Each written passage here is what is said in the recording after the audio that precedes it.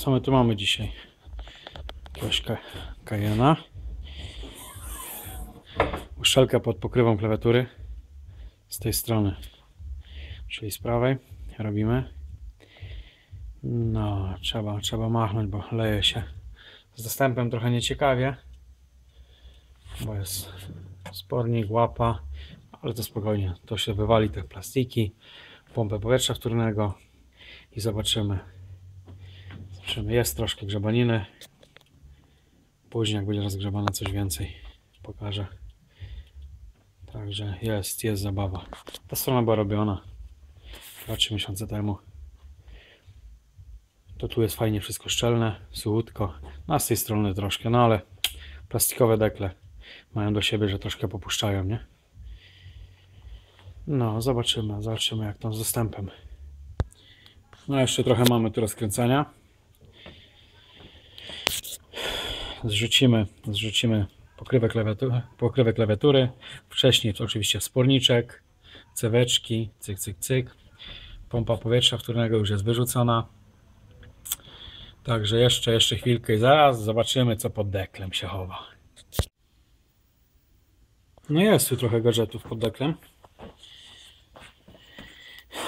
Drugą stronę, druga strona była robiona jakieś 2-3 miesiące temu. Coś z ostrością dzisiaj mamy problemy. A tą stronę, a tą stronę teraz zaatakujemy. No jest, jest tu trochę gadżetów. Nie ma szału. Problemem są te dwie śruby z tyłu. Jedna jest tam za... Jedna jest tu jeszcze w rogu. Musimy wierzyć na słowo. Tam nie dojdę. No to jest jako tako. No i tu te dwie. Po prostu mało miejsca jest do podłużnicy. Także tu jest, tu jest jedyny problem. A tak, nie ma problemu. Na pewno Cayenne, Porsche Cayenne 1 jest lepszym rozwiązaniem jak, jak Jaguar XF z 5-litrową benzyną. Nie daj Boże, jeszcze z kompresorem.